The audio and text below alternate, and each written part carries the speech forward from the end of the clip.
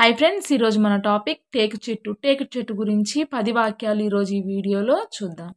అది టేకు చెట్టు అధిక నాణ్యత గల కలపకు ప్రసిద్ధి చెందినది. రెండవది ఇది ఉష్ణమండలానికి చెందిన గట్టి చెక్క చెట్టు.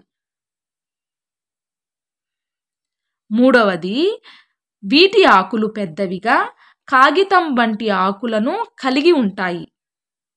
నాలుగవది టేకు కలపని ఎక్కువగా ఇళ్ళ నిర్మాణాలలో ఉపయోగిస్తారు.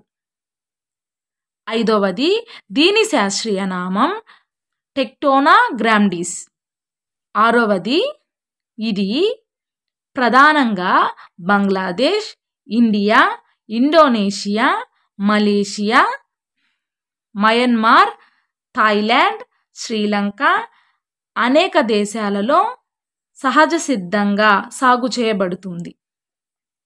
ఏడవది ప్రపంచంలోని సహజంగా లభించే టేకుల్లో మయన్మార్ యొక్క టేకు అడవులు దాదాపు ప్రపంచంలోనే సగభాగం ఉన్నాయి.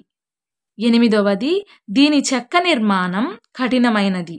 ఇది రింగ్ ఫోరస్ను కలిగి ఉంటుంది. తొమ్మిదవది టేకు యొక్క కొన్ని రకాలను బర్మీస్ టేకు సెంట్రల్ ప్రావిల్స్ టేకు నాగ్పూర్ టేకు అని పిలుస్తారు.